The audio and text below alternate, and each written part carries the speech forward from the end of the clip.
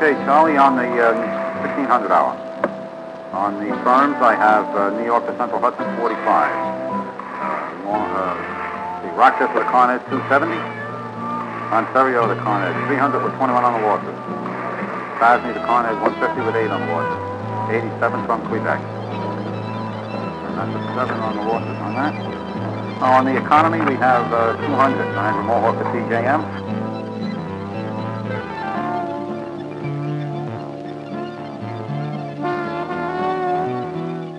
This is the New York Power Pool Control Center in Schenectady, New York, where 98% of the state's electrical power is controlled.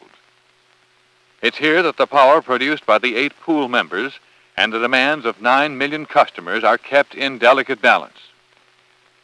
Opened in 1969, this $4 million master dispatch center is responsible for security of the statewide bulk transmission system. In the pool's control room, electronic displays provide real-time information for the three-man dispatcher teams. The 80 by 16 foot animated system diagram board indicates the operating status of 400 transmission lines, 46 generating stations, and 34 substations. 24,000 megawatts of capability, anticipating summer peak demands exceeding 19,000 megawatts.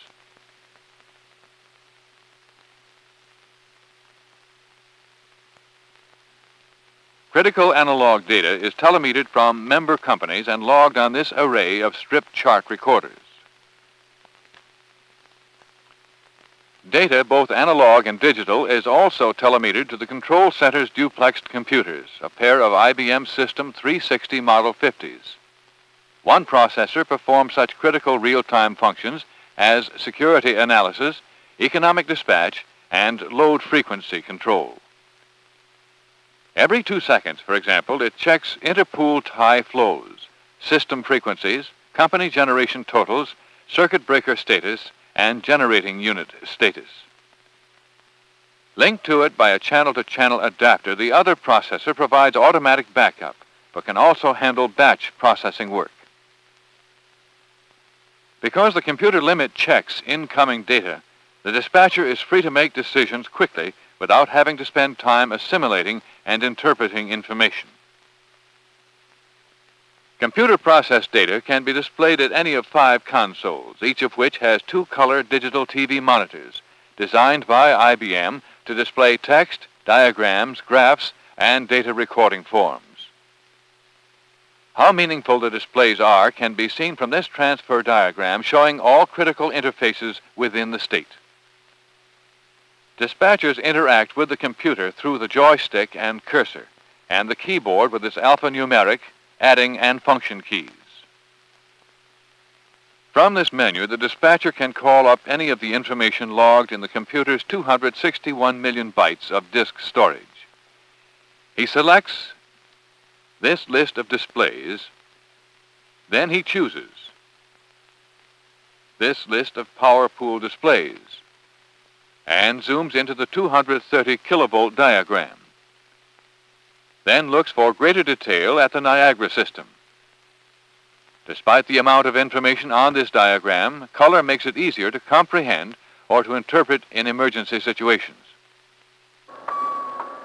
When limits are exceeded, alarm messages are displayed this way and in the detail which the dispatcher feels he needs. Scheduling, too, is simplified by computer operations. After receiving hydro schedules, load data, and other parameters, the unit commitment program provides an hourly schedule for startup and shutdown of fossil-fueled generating units. An interchange evaluation program reviews the schedule each hour to aid in interchange negotiations.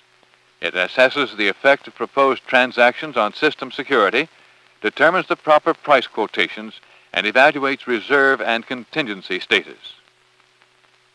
Using a contingency evaluation program, dispatchers can calculate the effects of 300 contingencies on 100 pre-selected transmission lines and see it as clearly as this 345 kV grid in the Con Edison system. Study mode versions of real-time programs have also been provided to analyze limit checking, contingency analysis, and reserve checking functions. New York Power Pool programmers produce the Control Center's applications programs. IBM's Federal Systems Division developed a special operating program to support this installation by augmenting Operating System 360 with the Power Resources Operating System.